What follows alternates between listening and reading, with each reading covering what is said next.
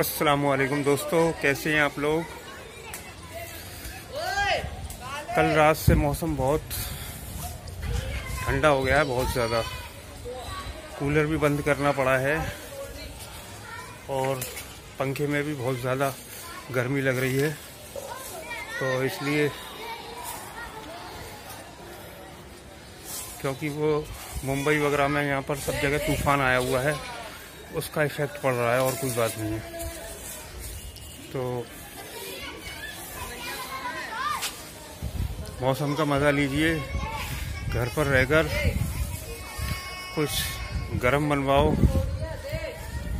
कुछ बढ़िया सी चीज़ बनवाओ, ठीक है? और मौसम का मज़ा लो।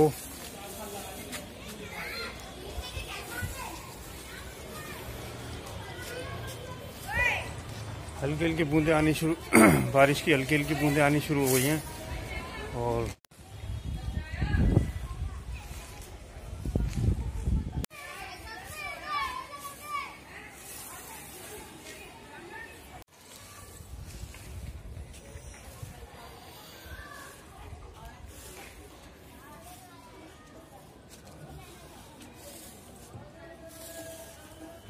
आज तो ऐसा मूड हो रहा है कि कहीं पर घूमने के लिए जाया जाए।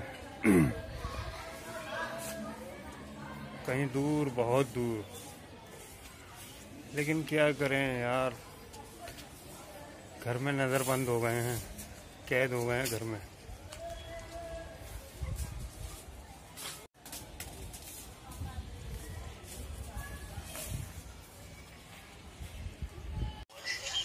मैं आया हूँ अपने एक टेलर मास्टर हैं मेरे। भाई भी लगते हैं, दोस्त भी हैं। उनसे अपना मास्क लेने के लिए मास्क बनवाया, देख लो कैसा है। बढ़िया है ना? अब मैं जा रहा हूँ दूध लेने के लिए। बारिश का मौसम हो रहा है, पता नहीं बारिश ना आ जाए रास्ते में। देखते हैं, निकल तो गया हूँ अब। मैं बाज़ार जा रहा था, लेकिन रास्ते में मुझे रुकना पड़ा, तेज़ बारिश हो गई बहुत। और मुझे अपने अंकल की शॉप पर रुकना पड़ा, जो प्रिंटिंग का काम करते हैं। ये देखिए।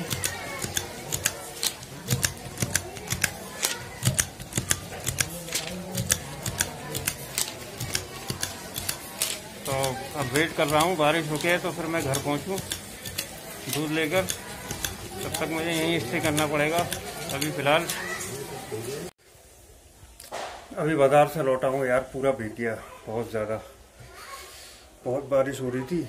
इधर हमारे यहाँ के पास के क्या कहते हैं, दो खम, दो तीन खंभे गिर गए हैं बारिश की वजह से। उसकी वजह से लाइट, अभी चार पाँच घंटे तक लाइट नहीं आएगी।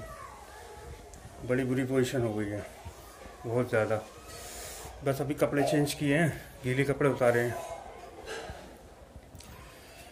तो आज ज़्यादा वीडियो भी नहीं बन पाएगी, अब जो बहुत, थोड़ी बहुत है वही देखनी पड़ेगी आपको। उसके लिए मैं माफ़ी चाहता हूँ। तो फिर इसी के साथ अल्लाह हाफिज़। कल नई वीडियो में मुलाकात होगी।